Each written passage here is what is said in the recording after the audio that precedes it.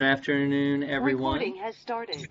Good afternoon, everyone. Uh, welcome, welcome to uh, Multidisciplinary Endocrine Conference. Uh, it is a uh, pleasure to uh, introduce uh, Dr. Prasanthi Gandham.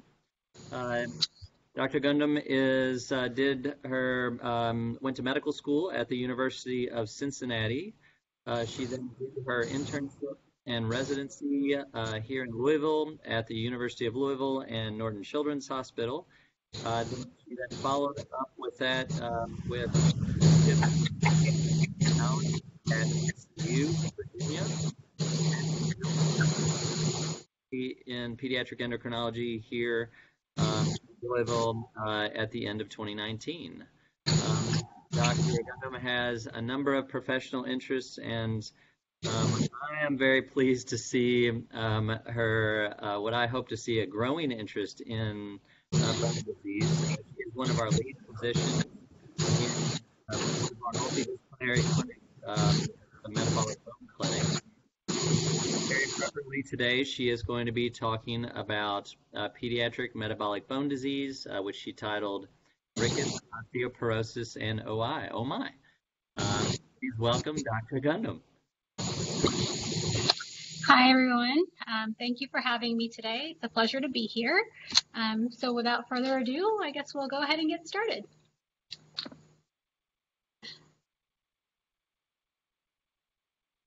Okay. First of all, I have no financial disclosures. Um, so the objectives for today's talk include to review the basic anatomy and physiology of bone, review common pediatric bone disorders, to review risk factors for bone disease in children, and to discuss known and emerging therapies for pediatric bone disease. So as endocrinologists, we all know that bone really plays much more of a role than simply providing mechanical support to the body. It's a highly specialized, dynamic, connective tissue um, in addition to serving as the body's major reservoir for calcium and phosphorus, of course, more recently it's been, come, um, it's been recognized as a true endocrine organ. So in that capacity, we know that it plays major roles in renal phosphate handling and even in glucose metabolism via its production of both FGF23 and osteocalcin. So I wanted to take a little bit of time to kind of quickly re review um, bone anatomy and physiology, not actually calcium homeostasis, sorry about that. Um, so the bones, specifically the long bones, are made up of three anatomic regions, which include the diaphysis or the shaft of the long bone, the metaphysis, which also includes the growth plate, and then the epiphyses, which is sort of the articular surface of the bone. Um, in growing children, the epiphyseal plate or the growth plate consists of a layer of hyaline cartilage, which is the site of endochondral bone formation. Um, you can really break bone down into its macroscopic components and its microscopic components. So at the macroscopic level, Bone can be either cortical or trabecular, and the vast majority of our skeleton is made out of cortical bone, about 85% of it. Um, and this cortical bone is typically found in the shaft of long bones um, and then surrounding trabecular bone. It tends to be much more dense than trabecular bone. Trabecular bone, in contrast, is found at the end of long bones and the vertebrae and then in flat bones such as the pelvis, and it has a much higher degree of porosity as compared to cortical bone. We all know that form and function tend to go together, so cortical bone tends to function mainly as mechanical support, whereas trabecular bone is highly metabolically active and it serves as the major site of hematopoiesis. Um, at the microscopic level, bone can be broken down. Um, cortical bone specifically can be broken down into osteons. Um, and each of these individual osteons has at its center a haversian canal through which the blood, uh, the bone gets its blood supply. Um, and each haversian canal is surrounded by concentric lamellae. Um, and these lamellae consist of bundles of collagen fibrils. The really interesting thing is that all of the neighboring lamellae um, have a different fibril arrangement. And so this tends to create a sort of twisted plywood arrangement, and that is what gives cortical bone its strength. So we've already referred to the fact that bone is a dynamic tissue um, and it's remodeled throughout life, allowing for the repair of any microstructural damage that has accrued over time. Um, but During childhood alone, we also have a distinct process that goes on, uh, which is called modeling. Um, and modeling is what allows for endochondral ossification and long bone growth at the growth plate. And it also allows for the subtle shaping and reshaping of bones over time. So both of these processes are highly regulated.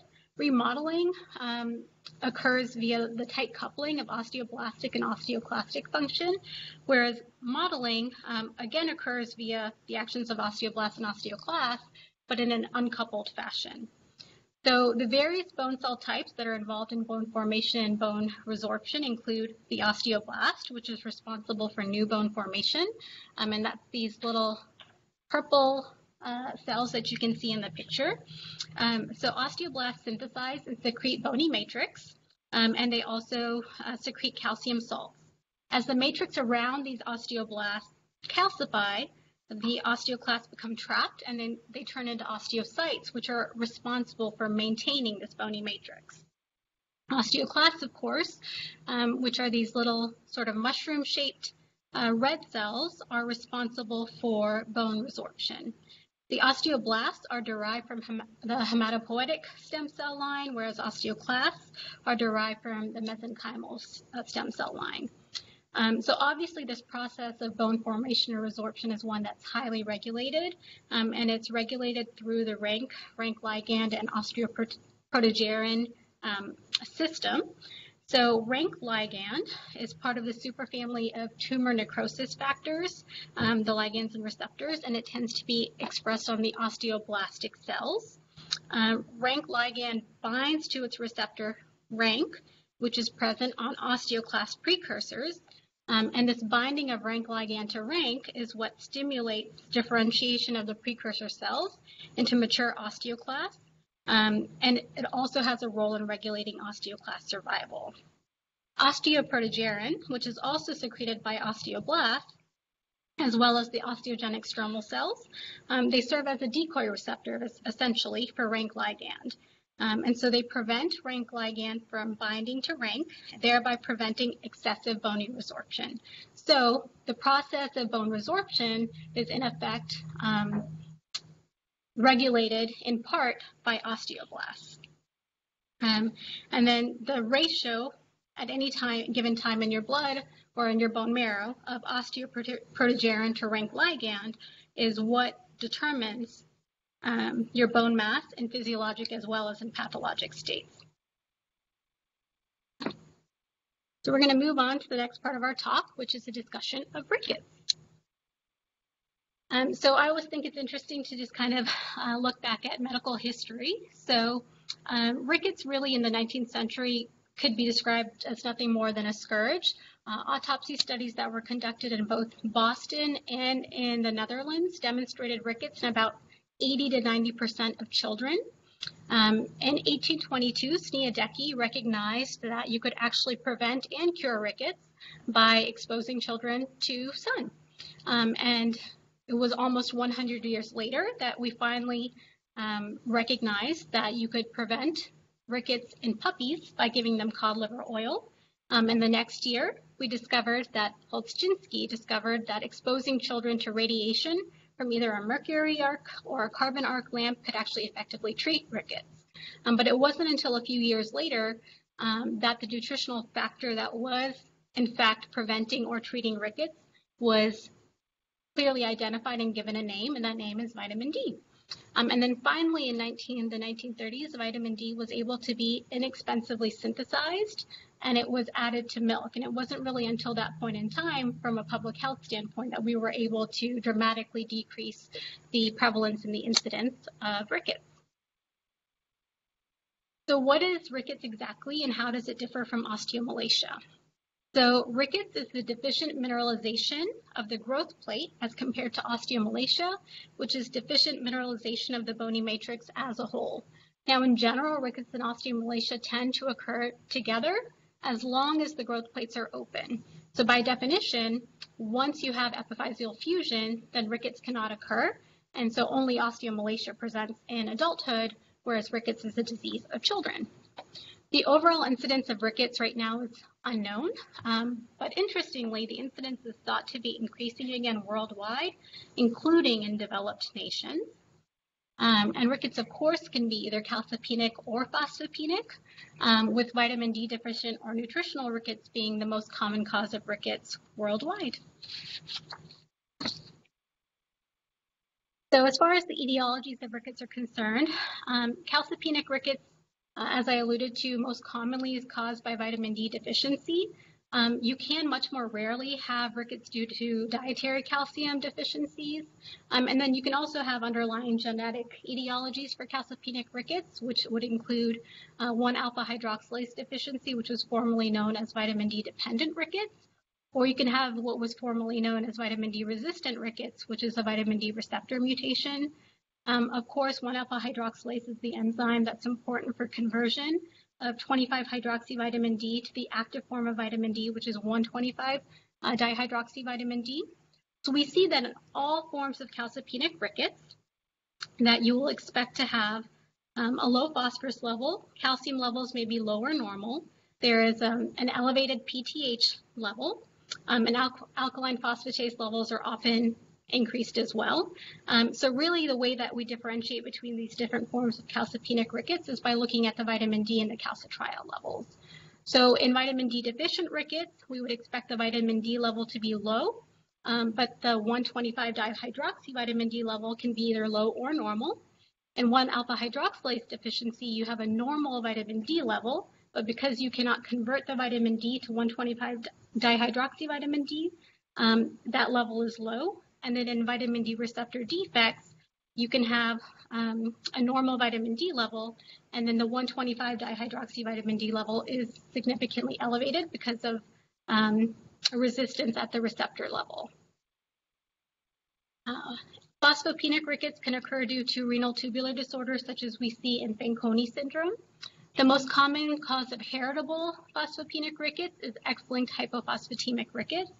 Um, so this is caused by a mutation in the PHEX gene, um, which we're not 100% sure why, but we know that this results in FGF23 mediated uh, hypophosphatemia. So you have an increase in FGF23 essentially. There are actually autosomal dominant and autosomal recessive forms of hypophosphatemic rickets, but they tend to be much less common. You can also have hereditary hypophosphatemic rickets with hypercalciuria. Um, but again, this is far more uh, uncommon than XLH. So historically, we used to treat X-linked hypophosphatemic rickets just with oral phos replacement, but we now actually have um, a therapy available, which is burosumab, the monoclonal antibody, which binds to the FGF23 receptor, preventing the binding of FGF23.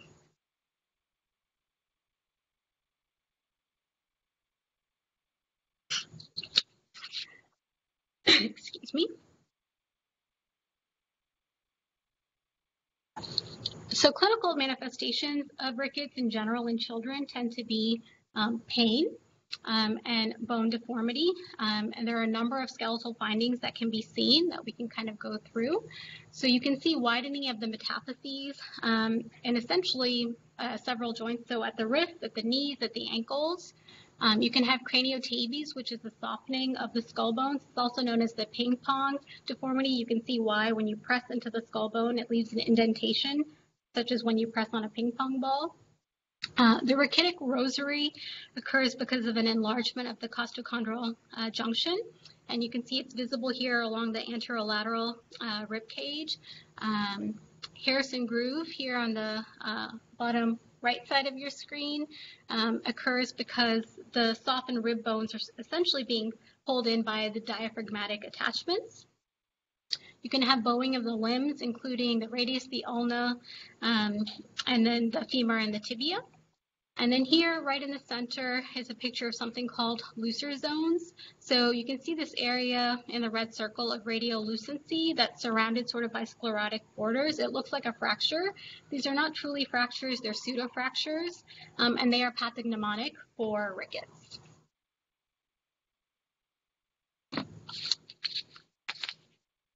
So in children in general, rickets is going to present with pain and irritability. You can have marked muscle weakness and decreased muscle, decreased muscle tone.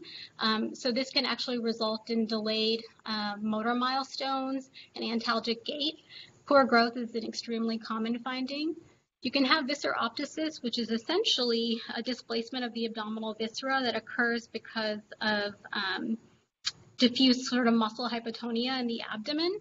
Um, and I think I actually saw my first case of visceroptosis yesterday um, in a young lady that I saw in clinic. Um, and then you can have symptomatic hypocalcemia, including hypocalcemic seizure. The hypocalcemic seizure tends to be more common in the kids who are presenting within the first year of life.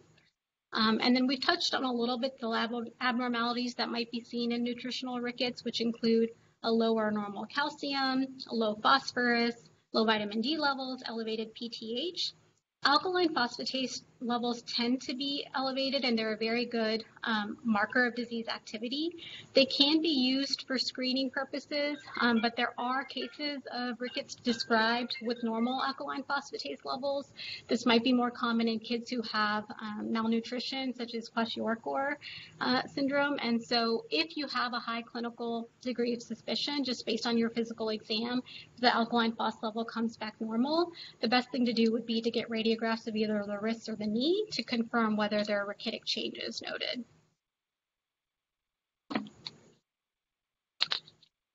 Um, so there are a number of things that um, are risk factors for vitamin D deficiency that can clue clinicians into the fact that sh they should perhaps screen a child. Uh, so maternal vitamin D deficiency is one of them. We know that vitamin D crosses the placenta, um, and so being vitamin D replete during pregnancy is certainly important. Um, in the same vein, an infant who's born prematurely is at high risk for vitamin D deficiency or rickets. Um, the transplacental uh, transfer of vitamin D tends to be kind of the most critical period for that is the third trimester. Um, so that's part of the reason that prematurity is such a significant risk factor. Um, if you have an exclusively breastfed infant, that's actually one of the most common um, risk factors that we see. Breast milk is obviously wonderful for a child's nutrition, but it actually has a very, very low content of vitamin D in it. About 15 to 50 IU per liter um, of uh, vitamin D is found in maternal breast milk, even in vitamin D replete mothers. And so the recommendation from the American Academy of Pediatrics is actually that any infant who's being exclusively breastfed should be started on vitamin D supplementation with at least 400 IU of vitamin D daily um, by the first month of life, by the end of the first month of life. Obviously, malabsorptive disorders. Um, in general, very few foods have a significant amount of vitamin D in them, but many of them tend to be either fish or meat-based products. And so um, those children or families who follow a vegetarian or a vegan diet can certainly be at risk.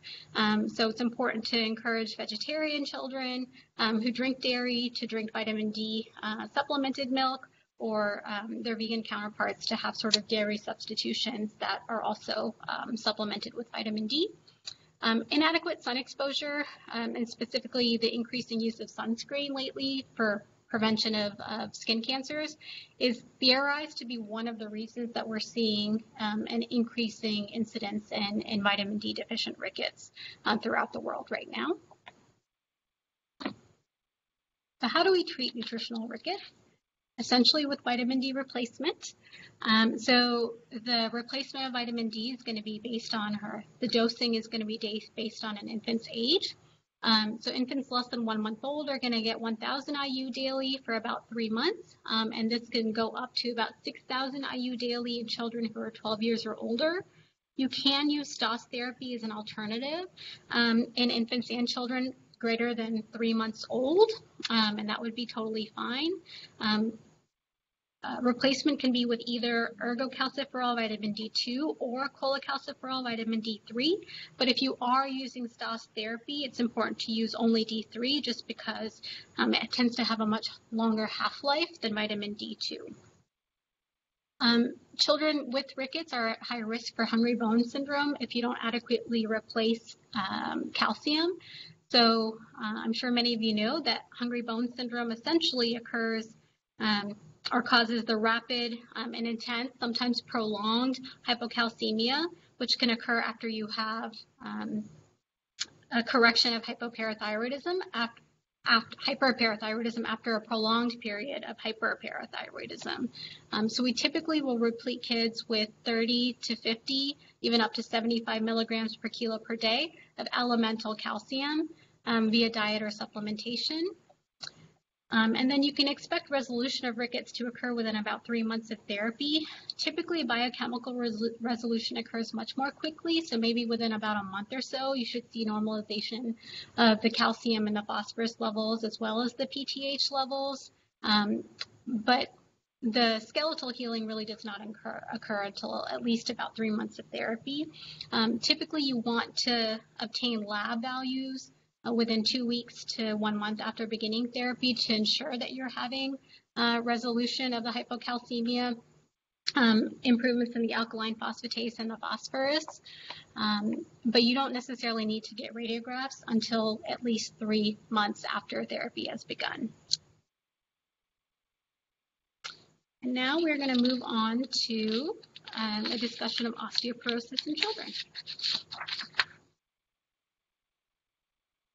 So osteoporosis is defined as low bone mineral density with alterations in the microarchitecture of bone, increased bone fragility, and greater fracture risk. Now in adults, bone mineral density has been shown to be a reliable predictor of fracture risk. Um, with each decrease in the bone mineral density of about one standard deviation below the average, um, resulting in a doubling of fracture risk. Um, so because of that, we're able to sort of easily diagnose osteoporosis or define osteoporosis in adults um, if the BMD falls below 2.5 standard deviations of the average value of healthy adults. So a t-score of less than minus 2.5. However, um, for children, um, the story is a little bit different. So first of all, the clinical relevance of uncomplicated low bone mineral density in children remains very difficult to evaluate. We know that children are continuing to accrue bone mass throughout childhood. So about 40% of their bone mass is accrued during adolescence and puberty. They have about 90% of their bone mass uh, by the time they're about 18 to 20 years old. But really your peak bone mass isn't achieved until maybe you're in your late 20s. Um, and furthermore, we have no concrete evidence that low BMD is a predictor of fracture risk in growing subjects in the same way that it's a predictor of fracture risk in adults. Um, because uh, children's bone mineral density is obviously changing depending on um, where they are in puberty, their age, their gender, body size, and stature. There's not really one normal bone mineral density value that we can use in children. Um, so we also have to use, because of this, a completely different um, index for measuring bone mineral density. So as opposed to T-scores, we use Z-scores in children to evaluate their bone mineral density value. So um, this is the difference between the observed BMD value and the reference BMD value, which tends to be at the very least age and gender matched. Um, and this value must be corrected to be accurate. So given the difficulties in obtaining accurate densitometric data in children, and given that BMD alone may not be a reliable predictor of fracture um, in children, fracture risk in children, there's not really a clear consensus on a diagnosis of osteoporosis in children that's going to be based solely on BMD criteria. And so osteoporosis in children is defined as essentially having a low bone mineral density in addition to a clinically significant history of fracture. But what is a clinically significant history of fracture? So that would be either two long bone fractures by the age of 10 or three long bone fractures by the age of 19 or the presence of vertebral compression or crush fractures sustained in the absence of traumatic injury. So these criteria are really based upon expert opinion, so there's still a lot of debate about them and it's sort of a moving target. Um, sometimes we'll suspect osteoporosis um, in a child who for instance, has a normal BMD value Z-score, um, but who had a compression fracture without there being significant trauma. Um, so that's kind of that. So as far as measuring bone mineral density is concerned, DEXA is still the most widely used measure. It tends to have relatively lower radiation dose. It's widely available. It's quite precise. And in children, we have fairly good normative data, um, and it's reproducible. But the you know, the thing that makes DEXA a little bit difficult in children is that it's not truly a volumetric measure. It's in fact a measure of areal bone density. Um, and because it's an areal measure, uh, it tends to overestimate density measures in large bones, excuse me, and it underestimates bone density measures in smaller bones. Um, and so if you have a child, for instance, who has short stature, their bone mineral density is often grossly underestimated. And so you actually do have to correct the bone mineral density for height. And there are Z-score calculators available um, through the Children's Hospital of Philadelphia, for instance. um, quantitative CT is another modality that could be used to measure bone mineral density in children, though it is not very widely used um, mostly because it's not very widely available and there's a much higher radiation dose uh, than DEXA. But the advantage of quantitative CT is that it does in fact give you a volumetric measure of bone density. Um, so the International Society for Clinical Densitometry actually has pediatric guidelines um, and they have specific recommendations for the best sites to get BMD measurements in children, and these include total body less head measurement and a lumbar spine measurement. So the lumbar spine um, specifically uh, tends to be good because it's easy to position children in a way to get reliable measures. It's easily reproducible, and we actually have a fair amount of normative data for the lumbar spine. The total body less head is valuable because it gives you a sense of what overall total bone masses in a child. They specifically state that probably um, the least desirable area to get a bone mineral density measurement in children is actually at the hip. Um, and that's because it tends to be, this tends to be a site where there's quite a lot of variability um, in skeletal development um, across, even in a child who's of the same age and gender. Um, it's very difficult to correctly position children to get an accurate measurement, um, and there's low reproducibility at the hip. But we find that at a lot of centers, uh, the hip tends to be one of the um, most commonly reported uh, readings, and I'm not 100% sure why. Um, and then as far as the age at which it would be appropriate to begin to get uh, DEXA data, um, the IC, ISCD actually says that you can get um, reliable Z-scores in children who are three years or older at the lumbar spine and total body less head, so pretty young. So of course, osteoporosis can be either due to primary or secondary causes. Um, the most common primary cause of osteoporosis in children is osteogenesis imperfecta, which is one of the connective tissue disorders. There is also an entity called juvenile idiopathic osteoporosis, which is quite poorly understood.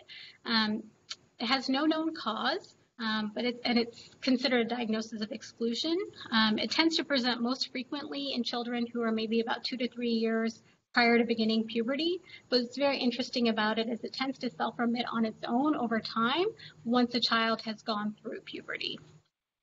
So secondary causes of osteoporosis in children are very similar to secondary causes, uh, causes of osteoporosis in adults. Of course, endocrinopathies such as hyperthyroidism, Cushing syndrome um, would be uh, among the secondary causes of osteoporosis. Chronic immobilization, as we see in children with CP or neuromuscular disorders such as Duchenne's muscular dystrophy. Um, infl inflammatory uh, disorders like JIA or SLE. Um, anything requiring the use of chronic glucocorticoid therapy, certainly. Um, malabsorptive disorders, um, and then, of course, uh, you can have, in addition to glucocorticoid use, other iatrogenic factors such as use of anti-epileptic medications, methotrexate, um, but by far the most common cause of secondary osteoporosis in children and likely in adults is use of glucocorticoids. So uh, osteoporosis tends to present with either vertebral or non-vertebral fractures. Uh, vertebral fractures can often go unrecognized in children. Uh, they don't always present with pain. Um, and so the lack of back pain does not actually rule out a vertebral fracture. Uh, the prevalence of vertebral fractures varies with the underlying disease process. So we know that kids who are on uh, glucocorticoid therapy, which tends to have a predilection for trabecular bone in the vertebrae, or children with motor disabilities are at the highest risk. So the prevalence of vertebral fractures in kids with uh, on glucocorticoid therapy is about 32%, and maybe about 25% in kids with uh, motor disabilities. It's extremely important to be able to uh, diagnose vertebral fractures in a timely fashion just because if a vertebral fracture is present, that sort of automatically confers a diagnosis of osteoporosis in a child. Um, the most common sites for uh, low trauma fractures in children are the humerus, tibia, forearm, feet, and ankles. Hip fractures are actually very rare, and so if you identify a hip fracture, you should either be looking for um, malignancy or perhaps for a primary disorder such as like fibrous dysplasia of the bone. And then again, important to be aware of looser zones, which are those pseudofractures that are seen in rickets. If present, it's very important to, to work the child up for rickets as opposed to pursuing a diagnosis of osteoporosis. So how do we evaluate um, individuals who are at risk for osteoporosis um, as opposed to individuals who are presenting to you with maybe a history of recurrent fracture. So in children who are at risk, you want to make sure that you're optimizing their bone health essentially. So you want to get vitamin D studies and calcium levels. It's important to get a dietary history and make sure kids are getting an appropriate amount of um, calcium intake and the RDI for calcium actually varies based on your age. And then of course you want to get a fracture history. For individuals who are presenting with recurrent fracture, you want to rule out secondary causes. So are they on any iatrogens? Um, do they have any evidence of any endocrinopathies? History and physical exam, of course, is always going to be paramount. So looking at the growth chart is important. Looking for features of primary osteoporotic disorders, whether blue sclera, do they have um, body proportion measurements that are not within the normal limits? for instance, uh, what is their stature compared to that of their family members? And then extremely important again to consider imaging of the spine to identify whether, of course, there are um, there are vertebral fractures present. So in children who have impaired, immo impaired mobility, uh, screening spine radiographs are actually recommended by six to eight years at the latest, um, and then every one to two years until growth is completed. For any child who um, is expected, expected to be on glucocorticoid therapy chronically, so three months or longer, then you should consider getting baseline spinal imaging, maybe even a baseline DEXA. Um, and then you want to follow up with imaging at least yearly if they remain on glucocorticoid therapy. So the recommendations for the initial screening with DEXA may vary again based on the underlying etiology. Um, in primary osteoporosis, or if you have risk factors for secondary osteoporosis, the ISCD recommends getting DEXA um, at presentation. Whereas children who have chronic immobility or significant motor disability, it's recommended to get the initial DEXA at um, initial presentation with fracture likely because children who have chronic immobility are going to have low bone mineral density um, scores if you measure them, um, but we don't necessarily know, again, if that correlates to fracture risk. There's not really any clear guidance as to the frequency or duration of follow-up screening with DEXA. Again, um, it varies by etiology. So for instance, we know that kids who have uh, idiopathic juvenile osteoporosis, this is something that's likely to self-remit over time. However, um, there are certain diagnoses such as anorexia nervosa where uh, low bone mineral density and increased fracture risk persist for even decades um, after diagnosis. The minimum interval um, for obtaining DEXA, DEXA, imaging is about six months, um, and that's again to just avoid excess radiation exposure. The general consensus has been to monitor DEXA every six to 12 months for those who are on treatment and at least yearly for those who are not. Um, and of course, baseline DEXA measurements should always be obtained prior to initiation of therapy. So how do we treat osteoporosis in children? So the initial treatment is always directed at reducing or eliminating any modifiable risk factors um, as much as we possibly can. And the goals of therapy include fracture and scoliosis prevention, uh, improved function, mobility, and of course reductions in any bone pain. Um, so it's important to ensure adequate daily intake of calcium and vitamin D. Um, addressing both obesity and underweight is extremely important. And then probably the single most important thing you can do is reduce the activity of any underlying disease causing osteoporosis. Um, and this may even require treatment with iatrogens such as glucocorticoids. So we know that the net benefit of reducing the overall inflammation, um, of improving mobility, of improving any malnutrition that's present, reducing any malabsorptive process likely outweighs the adverse drug effect on the bones. And many of the inflammatory cytokines that are present um, that have a negative effect on bone have a negative effect on bone health because many of them are actually mediated through the rank-rank ligand pathway. And then, of course, the role of PT can't be overlooked, um, and we know that modest increases in skeletal loading result in gains in bone mass. As far as medical therapies are concerned, bisphosphonates are by far the most widely studied agents used to treat osteoporosis in children. They've been used in children for probably about 20 to 25 years, maybe a little bit longer. Um, but in spite of this, they actually remain uh, an off-label therapy for this indication. So bisphosphonates are analogs of pyrophosphate. Um, excuse me.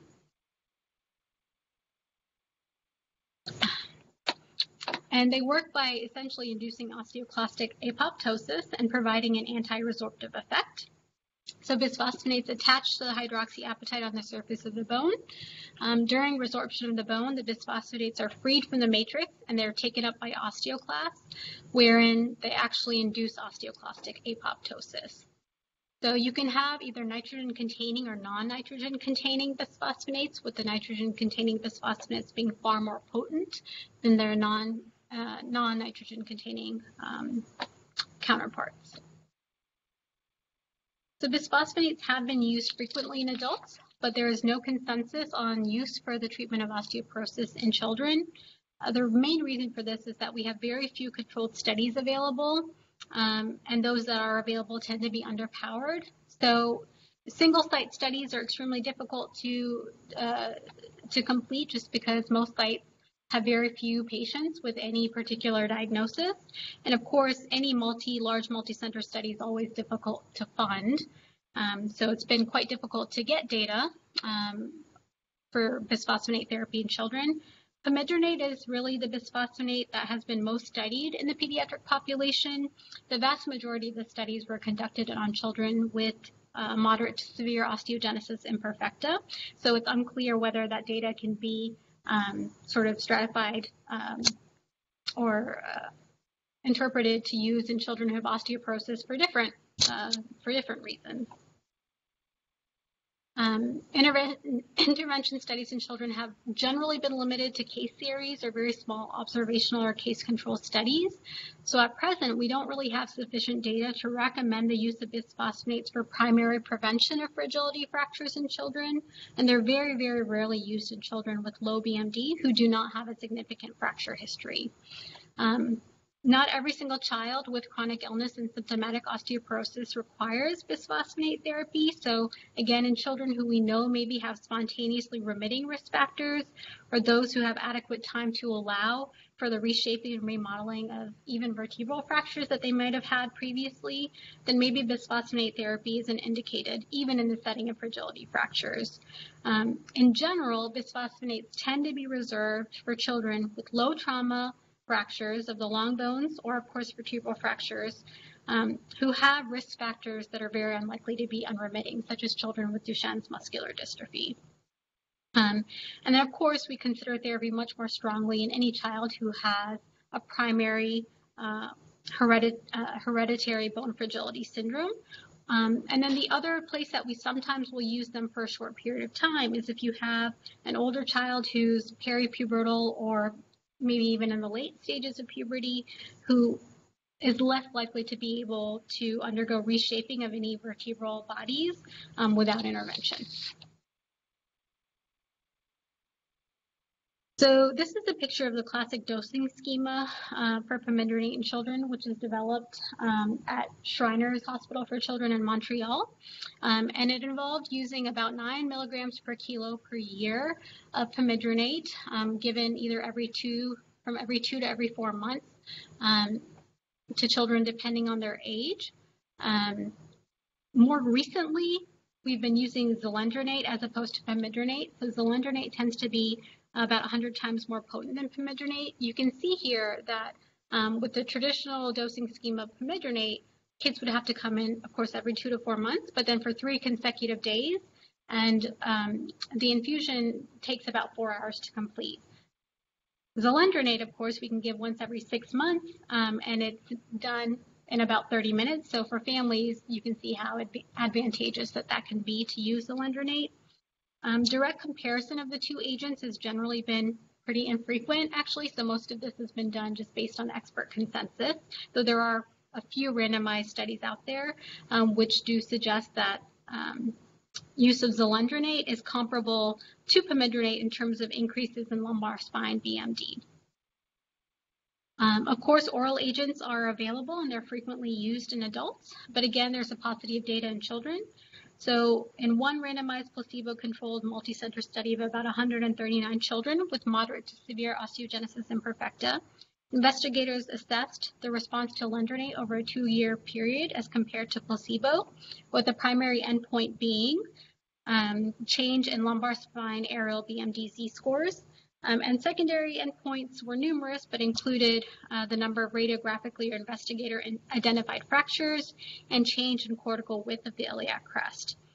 So what they found was that there was actually significant improvement in the lumbar spine BMD scores in the alendronate uh, treated children as compared to placebo, but there was really no significant improvement in any of the secondary endpoints.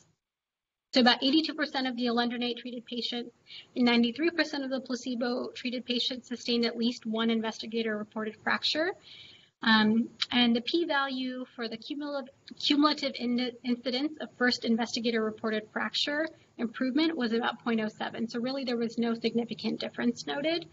So all in all, expert consensus is that IV agents are preferred in children as compared to oral agents um, just given that the preliminary studies haven't really demonstrated the same improvements in vertebral, vertebral height or fracture rates as compared to children who were treated with IV bisphosphonates.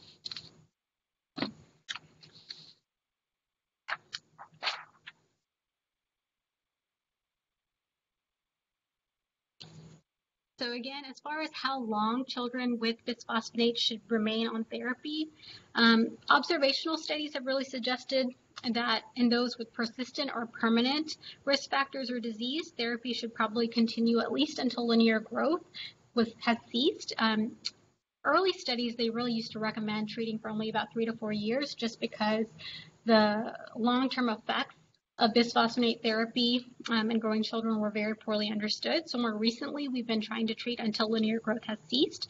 Um, and this is really just to prevent the decrease in BMD that could occur after cessation of therapy.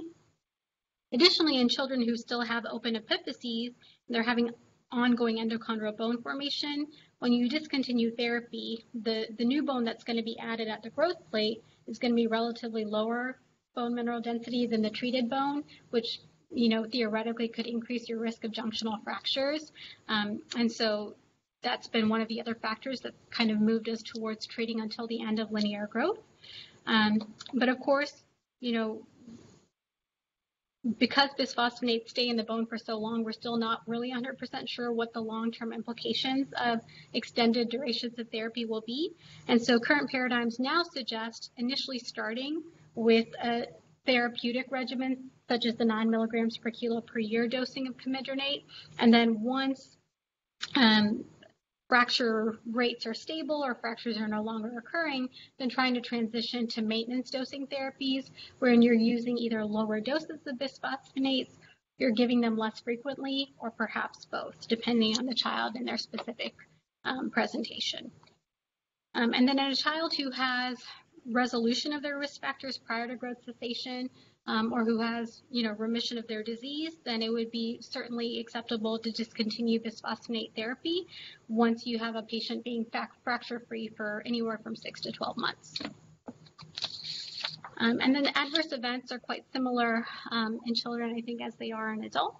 So in general, um, with IV bisphosphonates, you can have an acute phase reaction that occurs um, with fever, vomiting, um, and this is most commonly seen with the first exposure to IV bisphosphonates and generally does not recur with subsequent infusions. You can have mild hypocalcemia that occurs since this is an anti-resorptive agent. Um, this is much more pronounced after the first infusion, doesn't generally tend to recur. Oftentimes, children may be um, given uh, some calcium supplementation just maybe for the week or two prior to their infusion to try to prevent the hypocalcemia. Um, there is, of course, a theoretical risk of delayed or impaired fracture healing that's been described, but it hasn't yet been demonstrated in the pediatric population. But delayed healing of osteotomy sites has been noted. Um, and so the recommendation would be that for anyone who's undergoing an osteotomy, they should not have um, a bisphosphonate infusion for at least three to four months prior to that osteotomy. Osteonecrosis of the jaw um, is a risk factor that has been described in the adults and it's quite well feared, but it's never actually been described in the pediatric population. Um, and then, of course, bisphosphonates would be contraindicated in patients who have acute or chronic renal impairment. And then the last leg of this talk is going to be um, about osteogenesis imperfecta. This is a young man who's an actor who's been on several television shows um, and has been kind of open about the fact that he has osteogenesis imperfecta picture of him. So OI is a clinically heterogeneous uh, heritable disorder characterized by increased bone fragility with predisposition to fractures, low bone mass, bone deformities, and short stature. Um, has highly variable presentations across the spectrum of severity and affects about one in every 10,000 to 20,000 uh, live births. Has a number of exoskeletal manifestations that we will kind of go through shortly. Um, so OI has actually been described throughout history across a number of cultures. Um, case studies of individuals who likely had OI first began appearing in the medical literature in about the 1600s, um, and the term first actually appeared in the literature in about 1835. And then in 1979, Sillence et al. published a paper that categorized OI into four major categories based on clinical phenotypes. Um, and that's still the most widely used schema today for describing um, OI phenotypes. So this is a picture of uh, an infant who had osteogenesis imperfecta. Um, it's actually an Egyptian mummy dated circa about 1000 BC, and it was originally thought to have belonged to a monkey uh, until later on it was discovered that it was an infant with osteogenesis imperfecta. So I just thought that was interesting. So in 1983, Chu et al. described an internal deletion in a collagen gene implicated in osteogenesis imperfecta. We know about 90% of cases are caused by an autosomal dominant mutation in genes encoding type 1 collagen. That can be the COL1A1 or the COL1A2 uh, gene. Um, the OI causing mutation in, in collagen genes may be quantitative or qualitative, um, with quantitative defects um, being caused by haploinsufficiency of COL1A1 and causing OI type 1. So up to now, about 1,500 mutations causing OI have been identified. 90% of them are in COL1A1 or 1A2. And so given just the number of mutations, genotype-phenotype correlation is, is very difficult. So briefly, um, this is a picture of type 1 collagen, which is a rigid rod-shaped molecule. It consists of two alpha 1 and one alpha 2 chains, um, and the three chains kind of come together to form a triple helix. Um, there are triplets of amino acids um, throughout this triple helix, which are held together, or, I'm sorry, which have a glycine at every third position. So glycine is actually the smallest amino acid, um, and so anytime that glycine is substituted, it's very likely to result in a disruption of this um, triple helix molecule, essentially. So over the past decade, a number of non-collagenous OI causing mutations have actually been discovered. With two exceptions, these mutations cause recessive forms of OI as opposed to the classic autosomal dominant um, pattern of um, transmission. And recessive OI genes may be involved in collagen biosynthesis or perhaps in post-translational modification and processing. And this is just to give you an idea of sort of the number of different mutations out there that have been discovered. So I wanted to take a minute just to talk about sort of the classic classification of osteogenesis imperfecta. Type 1 um, is the mildest form. Again, it's caused by a quantitative and not a qualitative defect in type 1 collagen. Um, there's variable fracture risk present in these individuals. Um, they may have some intrauterine femoral bowing, some mild scoliosis. They tend to have normal stature, but they might be maybe a couple of inches shorter than you would expect for their genetic potential based on how tall their parents are. Um, and post puberty, they tend to have a significant decrease in their fracture risk. They do have blue sclera and they're at risk for adult onset deafness. Type 2 is the most uh, severe form of osteogenesis imperfecta. It's the perinatal lethal form, usually caused by sporadic mutations. There are often severe fractures anomalies at birth. Usually there are intrauterine fractures that occur. Um, it's not really uh, compatible with life, and usually um, mortality is caused by pulmonary hypoplasia or failure. Um, and children born uh, or parents who have a children a child with uh, the perinatal lethal form of, of OI really should have genetic counseling. So type 3 is the most severe form in surviving patients. They also often have fractures at birth or may have intrauterine fractures. They have a markedly decreased stature, um, distinct faces. Uh, they often have dentinogenesis imperfecta. They can have a grayish uh, tinge to their sclera. They can also have pulmonary disease, though perhaps not quite as severe as those with type 2. Uh, type 4 is a milder form of, type, uh, of OI as compared to type 3. They typically don't begin fracturing until they're toddling or walking. They can have moderate to severe short stature, mild to moderate uh, scoliosis, uh, and they don't have blue or gray sclera. Um, so these are just some pictures of some of the findings you might expect. Um, so the picture of the infant at the top left is an infant with type 3 osteogenesis imperfecta. Um, you can see um, that there's rhizomelic shortening of the limbs, which is a shortening of the proximal part of the limbs. They have sort of a triangular facies, um, and there's several fractures present um, on the radiographs. It's a picture of blue sclera, dentinogenesis imperfecta, um, and then this picture of the, the, knee radiographs here on the right um, are demonstrating popcorn calcifications, which are radiographic changes noted in the epiphyses and metaphyses of long bones. And they occur because of disruption of the growth plate that occur in severe OI usually. So comorbidities, um, and extraskeleton man manifestations can be present in OI. Hearing loss is amongst uh, one of the more common. So it can affect people with all Sillence's types of OI, including uh, OI type 1, which is the most mild form. Um, you can have either conductive or sensory, sensory neural hearing loss or combined hearing loss um, usually begins between the second to fourth decade of life. Um, treatment options generally would include a, a cochlear implant, of course, if uh, someone has sensory neural hearing loss, or you could get a, a stapedectomy, uh, which has only shown variable benefit. Cardiac manifestations are present, which include valvular insufficiency, aortic dilatation, atrial septal defects, amongst others. Valvular regurgitation is probably the most common, present in about 95% of cases. Um, in OI, uh, in adults with OI, aortic root dilatation is the most frequent valvular manifestation. Um, and there can also be diastolic function noted, dysfunction, I'm sorry. So dentinogenesis imperfecta um, occurs because of histologically abnormal dentin um, and odontoblastic dysfunction. The teeth can either look sort of yellowish brown, like in the picture I showed you earlier, or opalescent gray. Um, about 40 to 80% of those with the more moderate to severe types of OI um, can present with dentinogenesis imperfecta, and these children have a very high incidence of malocclusion impaction um, and they can have both delayed or accelerated tooth eruption. So pulmonary manifestations we've touched on are the most common cause of morbidity and mortality in OI. Um, and the effects have really been considered secondary just to the skeletal deformities um, and the scoliosis that they have, as well as rib fractures. Um, but there is some increasing evidence that there may be bone-independent pulmonary pathology as well.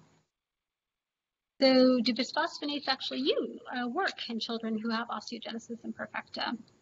Um, so studies have shown that um, in terms of BMD, there are significant increases noted in total body areal BMD as well as that of the lumbar spine, um, and there is improved vertebral geometry.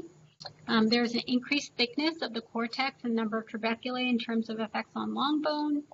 Um, however, in spite of the improvement in areal bone mineral density, no control trial has demonstrated decreased incidence of long bone fracture. Um, so initial observational studies were very promising, but none of the controlled studies or meta-analyses has really uh, supported those findings. Um, there's not any delay of initiation or progression of scoliosis. Um, there are anecdotal reports of pronounced decrease in pain, but again, this has not been demonstrated in controlled trials. Um, and then in terms of the effect on mobility, activity, and ADLs, again, anecdotal reports of improved mobility, um, but no controlled trial has demonstrated, um, has been able to reproduce those findings. Um, and this is just a picture where you can clearly see here that this is a child who, um, a young child who was treated with midronate for two years. And you can see that clearly there's a, a significant improvement in their cortical thickness. So as such, orthopedic surgery really remains the mainstay of treatment. Um, osteotomies of the long bones with placement of intramedullary rods um, are frequently required. Complications can include rod migration or non-union of osteotomies. Um, and of course, we talked about um, delaying use of bisphosphonates for several months prior to and perhaps even for a couple of months after surgery has been completed to allow for appropriate healing. Um, OI-related scoliosis really doesn't improve significantly with bracing, um, but there's been some success um, with halo traction and spine stabilization, um, and this is most effective if it's undertaken early. And then, of course, um, physical therapy and rehabilitation is extremely important, with the goal being to maximize gross motor functions and ADLs. Um, in general, because you know we've talked about there being such considerable phenotypic heterogeneity, there's not really one um, specific standard treatment model as far as physical therapy is concerned for children with osteogenesis imperfecta, and it's really important that um, therapy should be individualized for each patient and it should really actively promote increased strength and mobility. Um, so early intervention, muscle strengthening, and aerobic conditioning are extremely important. There are a number of functional tests that have been modified and validated specifically for children with osteogenesis imperfecta. So if possible, sending a child to um, a center of excellence or a center that has um, uh, physical therapists who are familiar with treatment of OI would be beneficial, of course. Um, and then regular exercise at an appropriate intensity is required to maintain function. So ongoing physical therapy throughout life is extremely important. Um, and then very briefly, I just want to touch on some emerging therapies that are starting to be um, explored a little bit. So denosumab, as you all know, is a rank ligand inhibitor. It's really been used only in type uh, 6 OI, which has had a poor response, this should say to bisphosphonates, I'm sorry, a poor response to bisphosphonates. Um, it has been used in children, um, and there has been some increase in BMD um, and bone mineral density and mobility noted without any effect on longitudinal growth, but it's generally used um, on a compassionate basis in, in these cases. And then teriparatide, of course, is recombinant human PTH, um, which has shown some beneficial effect on BMD in adults. But unfortunately, in children, um, it's not been used and not likely to be used anytime soon just because of a theoretical risk of osteosarcoma. Um, so unfortunately, at this time, um, bisphosphonate therapy is still likely um, our best option for treatment of osteogenesis imperfecta and of osteoporosis in general. So in summary, it's imperative that medical practitioners be cognizant of the risk factors for bone disease in children. Screening for bone disease in an at-risk child is an important part of a child's overall care. No primary preventive medical therapies are currently recommended. Non-invasive and supportive therapies as well as orthopedic intervention remain a mainstay of treatment, and bisphosphonates remain the most commonly utilized medical therapy for treatment of osteoporosis in children but more controlled studies are needed to better understand available treatment mo modalities as well as to develop new ones. So I'm happy to take any questions, and then this is today's event code.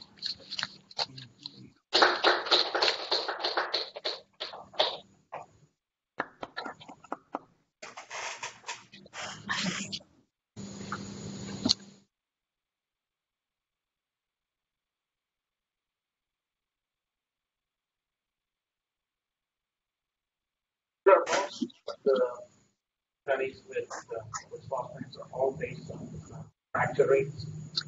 Um, so the primary endpoints tend to be um, areal BMD improvement, usually at the lumbar spine, and then usually yes, fracture rates.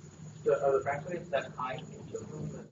They can be so children with severe osteogenesis imperfecta, they can be extremely common. So especially if you have type three, uh, they usually have fractures at birth. So they have intrauterine fractures, and even just with um, basic care and manipulation, they can fracture.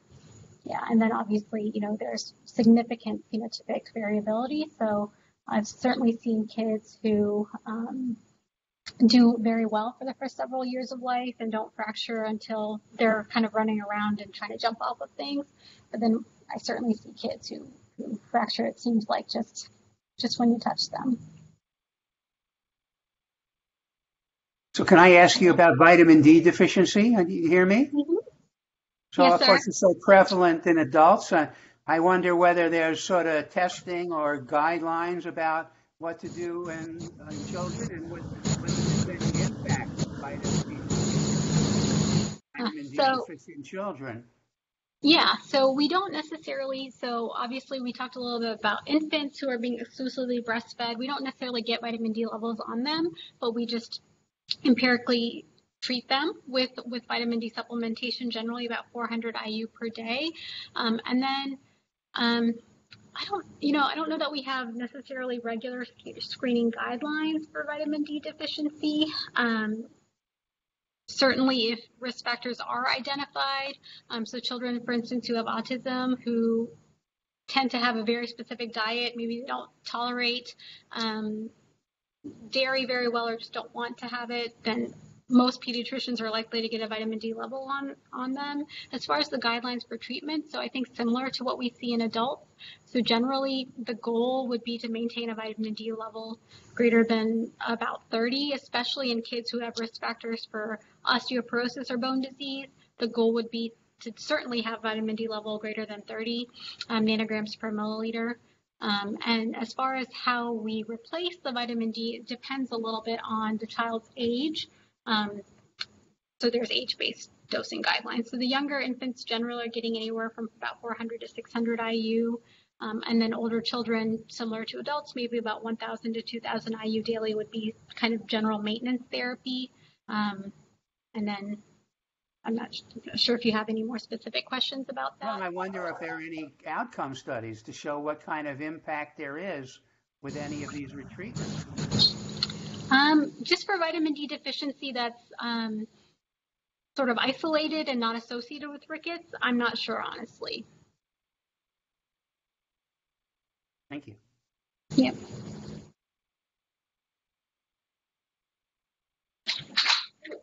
Yeah. So, um, adults, there's a concern about atypical femoral fracture in the bisphosphonate use. Mhm. So, Mean, apart from OI, which I understand is lifelong. Yeah. Um, in the other children, other than OI, uh, do you have to do drug holidays? I know you talked about the commission and then all this. Wonder, right? So even so, again, it, it's it's difficult because most of the studies have been done in kids with OI, and we sort of try to transplant that data onto kids who have osteoporosis for different re- reasons. So initially, the recommendations were actually to treat only for about three to four years, even with children with OI, just because we really weren't sure what the long-term implications were, were going to be. It's only more recently that they're talking about treating for longer periods of time. But even that currently, the guidelines are, you know, expert uh, recommendations really only recommend firmly treating until linear growth cessation. There's been some talk about treating beyond that point, but there's nothing concrete, honestly. So there hasn't been as much. There's been there was the initial concern about atypical fractures in children as well. I don't think it's been described quite as much. There is, of course, the the concern for junctional fractures in the children who are still growing, um, which is one of the reasons that they recommended continuing to treat throughout, um, at least until the growth plates have fused. Um, I'm not sure in sort of older older children or adolescents um, if atypical fractures have been have been described, but not that I saw.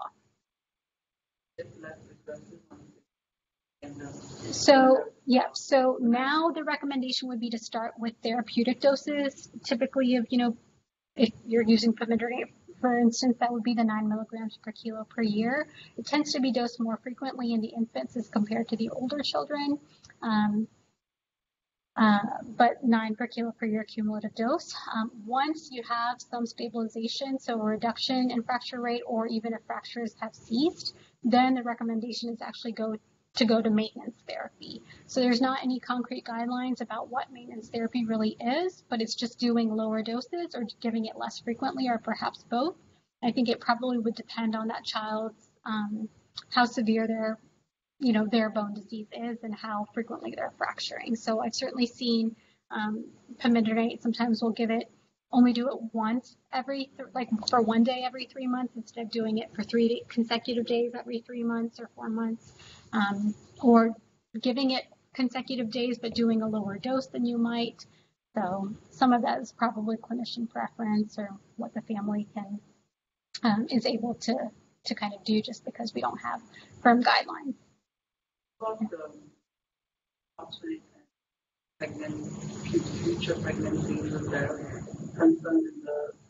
there is, yeah, and that's part of that was part of the reason again that such yeah such limited duration of therapy even in kids with severe OI was initially recommended recommended because we just don't we just don't know and our studies are so tiny that we have very very little data about long term outcomes and safety. Use, um, zoledronic acid, the Mhm. five milligram annual dose, Mm-hmm. the adult patient. Mm-hmm.